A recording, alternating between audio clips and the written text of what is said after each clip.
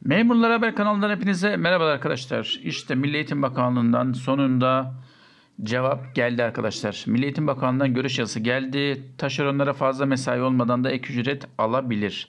Detayları birazdan vereceğiz. Her zaman olduğu gibi arkadaşlar YouTube'un taşeron işçileri adına, kamu işçileri adına, özel haber üreten, özel güvenlik görevlileri adına, özel haber üreten, Tek kanalız. Kanala abone olup bildirimleri açarsanız YouTube'un kamu işleri, taşeron işler, milli eğitim işleri adına haber üreten tek kanalından hiçbir videoyu kaçırmazsınız diyorum. Ve Milli Eğitim Bakanlığı'nın görüş yazısına geçiyorum arkadaşlar.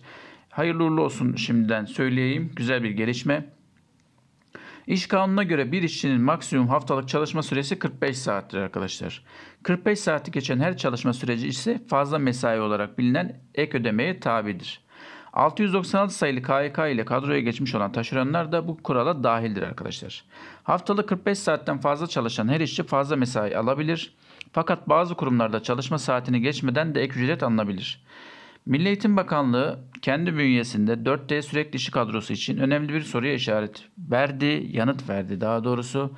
Kendisine yöneltilen bir görüş talebine cevap veren Milli Eğitim Bakanlığı sürekli ve geçici işçilerin İlkokullarda yetiştirme programı, İYP ve sosyal amaçlı düzenlenen kurslarda görevlendirilip görevlendirilmeyeceğine dair yanıt verdi arkadaşlar. Ve dedi ki ek ücretleri paşa paşa ödenir.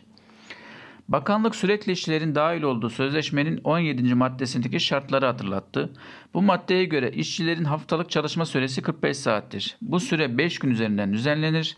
Cumartesi günü işçiler dinlendirilir. Fakat çalışma saati 6 güne bölünerek uygulanan iş yerlerinde bu süre devam ettirilir.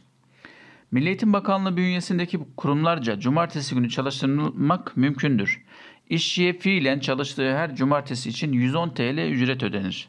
Ayrıca bu maddenin birinci paragrafında belirtilen haftalık çalışma süresinin gerek 5 gerekse 6 güne bölünerek uygulandığı iş yerlerinden kömür kalorifer sistemiyle ısıtılan okullar ile 3 öğün yemek verilen yatılı İBO eğitim kurumlarına münhasır olmak kaydıyla bu iş yerlerinde tüm çalışma sistemlerinin uygulanmasına rağmen personel yetersizliğinden dolayı işçilerin dinlenme günlerinde kaliferci ve aşçı olarak çalış, çalışanlardan her bir meslekten bir işçiyle sınırlı olmak kaydıyla işveren tarafından göreve çağrılan mesleği icra edebileceğine dair ehliyet veya belgeye sahip aşçı, kaliferci işçiye fiilen kalifer yakıtları ve yemek pişirdikleri bu günler içinde aynı ödeme yapılır.